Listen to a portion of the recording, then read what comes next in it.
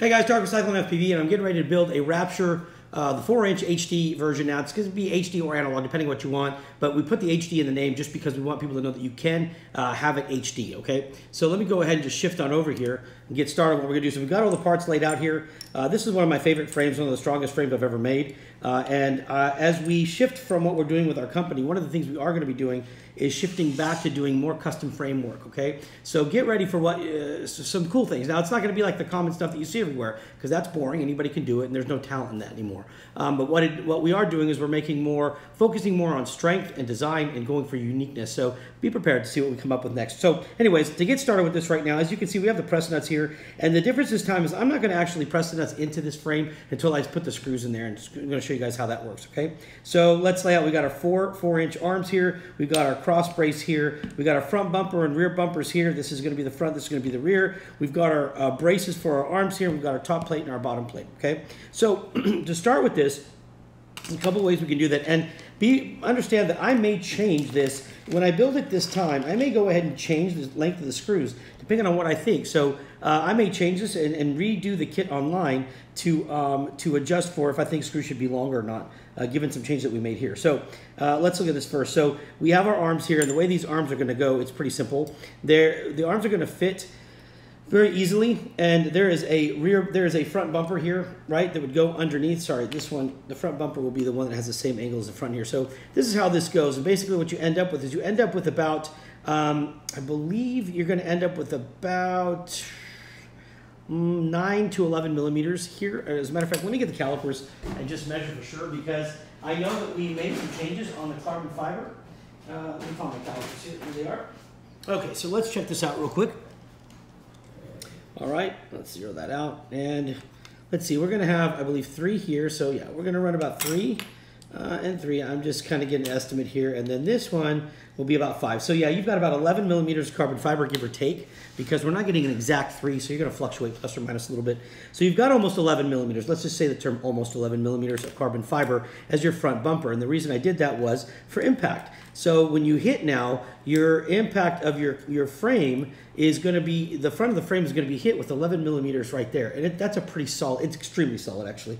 All right, now um, let's see, we did press nuts here and then we did standoff. So here's what I'm going to do.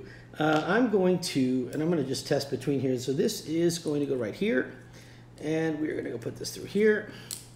And we're going to go through this one right here. Okay, now this will be where a standoff goes. So you can just finger tighten this down and put your standoff right there and that'll hold somewhat in place, okay? Now we're gonna do the same on the other side. So let's just take the other arm, put it right there, go to the center with the screw here. We line this up. All right, and then put your standoff as well. Now when we ship these, you're most likely going to get the arms folded in at some point because we're not going to ship them fully extended, but we will ship them assembled, okay? But for this purpose, I'm going to go ahead and assemble it. So I'm going to put the press nut right here, just like this. And I'm going to take our screw, feed it right in there like that, and I'm going to tighten it. But I'm not going to tighten it too hard right now because I still have to get ready to put the brace on. But as you crank this down, that'll pull the press nut in, and that'll pull it into the carbon fiber. Let's do the next one here. So put this through, just like that. And you can put the press nut on top of that screw if you want and just kind of spin it by hand. And then what you'll do is just hold the top of it with your finger. And as you turn the screw, the screw will pull it into the carbon fiber and it'll automatically start tightening itself. I can feel it already tightening. I don't want it to get too tight, but if you look at the width there, um, so you're gonna be, let's see, 2, 8, 2, 8, 5, 6, uh, 4, 8, 5, 6, 9. So let's just say 10, 6 maybe, somewhere between 10, 10, 7. Yeah, so you're about 10, 7, 5. Um, and if I calibrate this, it's probably going to be somewhere between 10.75 and 11 millimeters. Pretty hefty right there, but the frame still remains light. All right. Now, the next thing is going to be to do the back of the frame, which is the same exact concept, except the bumper on the back is a little bit more angled. So it's a little, it's got a deeper curve actually. So arms are exactly the same. No matter if you're in the front or in the back there, the arms are the same length. Uh, so they, you do not have to have, uh, there's no difference between a front arm and a rear arm or a left and a right arm on the front and rear side. So let's put that in here. Oops, whoops, whoops, whoops. First thing we do is go through the bumper, right, just like that. Then go through the arm, then go through the frame. Then you can add your standoff, just like this. Finger tighten that down, and you're good shape. Let's go ahead and do the next one. Put the arm in, right there. Line up the holes as best as you can. Put the screw in. Okay, we'll get that through just like that. The standoff in. And just finger tighten that down. There you go. Same thing applies for the uh, press nuts. I'm going to do the same thing as we did in the front. Put that on there, line up the screw, and then just gently tighten it down. Nothing too crazy, just like that. And we'll do the same with this one. Okay, there we go. And I think here is where I may change, right? I'm about to get to the point where I think I'm going to change the actual screw that we use. So bear with me a second because I do have them. I'm going to go, the, the initial uh, build had 14 millimeter screws, which are the green ones that you see right here. And the yellow ones that we used when we put through the press nuts are 16 mil. And because these next ones are going to go through here and go into the standoffs, I think I'm going to actually use the larger screw. So I may change this. Uh, I'm going to probably do that. So I've got a set of screws right here just in case. All right. Once we get to this point, we have this cross brace right here. This actually goes like this and then the brace goes to the uh, arm. So if you were to look at this, you can tell that you've got two different lengths, all right? And the, on, on here, you have a M3 hole and an M2. The M2 hole goes to the arm, and the M3 hole goes to the brace. And then the longer one, the M3 goes to the brace here, and the M2 goes right there, and you would fasten that through to the motor that you're using, okay? So I'm gonna go ahead and put this on here for the front. So I'll put the M3 hole here. Now here's where I'm probably going to switch. And the question I have, or what I'm going to think about is whether I'm going to use the 16 or not. And by the looks of it, uh, I think I will. I think we are going to switch the 16. So um, I will change that on the website. So there will only be, and, and right here is where you would add your screw to that. Okay, so I'm going to go ahead and do this here and put this one in here just like this. And I'm to pull another 16 from my bin here. Put that in. All right, and we'll finger tighten these, nothing too crazy. But as you can see, when you line these up, these would line up right here with the motor mounts right there.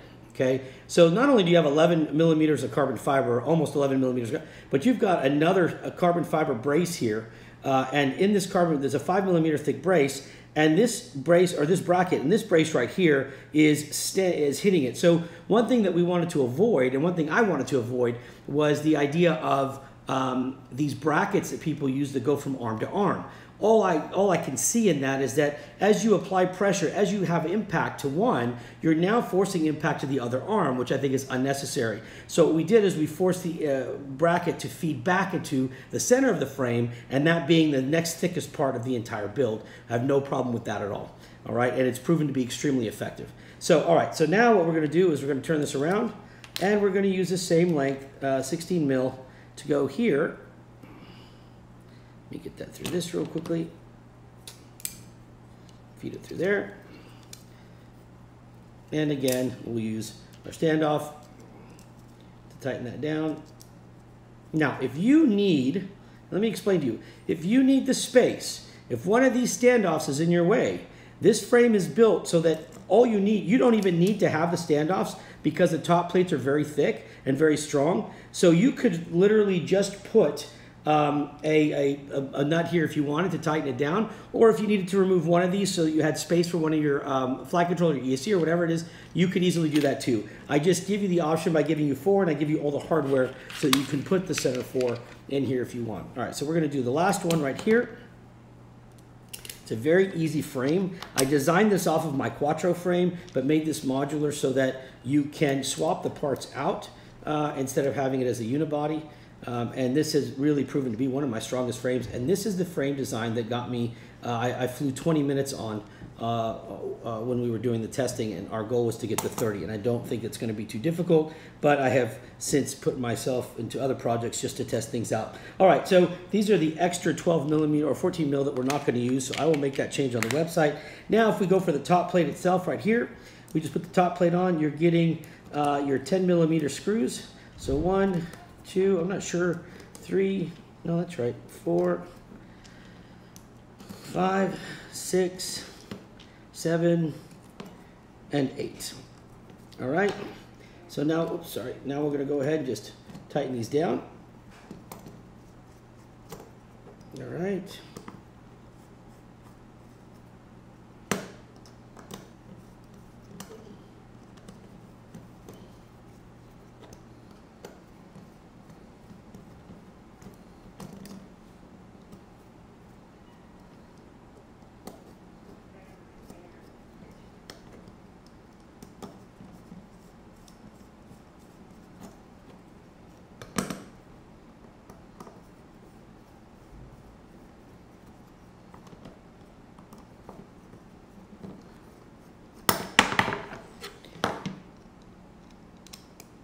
Right, so now those are tight. Now, if you wanted to, obviously you'd go back down, tighten everything else. Um, I am going to tighten these just for now, but then I'm going to loosen them because we're getting ready to ship this out to a customer. All right. And there we go, okay?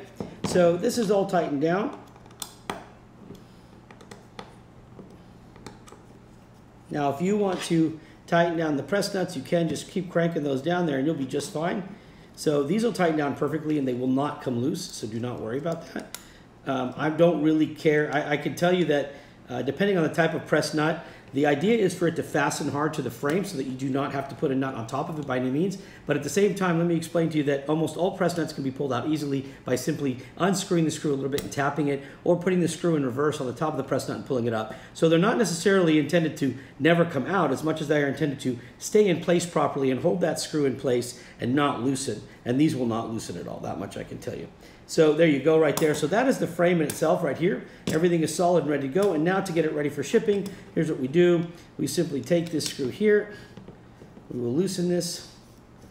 Okay, take it out. Fold the arm uh, down. Put the press nut back right here. Now once you tighten that screw fully, that press nut will grab into the carbon fiber and won't pop out. I just don't want to crank it down right now. So you put it like that. There's one. All right. And then we'll do the second one here. This down, bring the arm down, put this back in.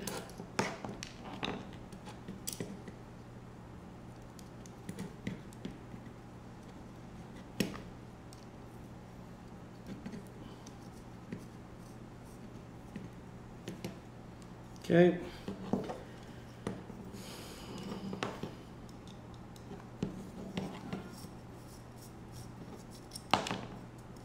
Well, you can fold this up if you want, just like that. If you're trying to keep the packaging small, all the braces will go back.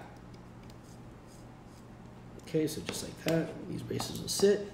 And then this one, we'll do the same. Unscrew it. Bring the arm forward. Put the screw back in to hold the press nut in place. There you go. Bring it back, bring it back, and that's it. There's the frame right there, broken down, folded, and ready to be shipped. Hope that's helped you guys. I, am excited. I've got a lot of people enjoying these. We've got a lot more coming uh, off the block now. I am I am cutting them um, daily. I mean, we are actually making a lot of headway here to cut them daily. Uh, everything else looks great. So this is it, guys. Hope you enjoyed it. If you have any questions, please let me know. Otherwise, listen, have a great weekend. Spend time with your family, guys. Remember, you don't know how much time you have left, so go make the most of it with your family. You can always, always fly later, okay? For my family and yours, God bless, be safe, and we will see you soon. Bye.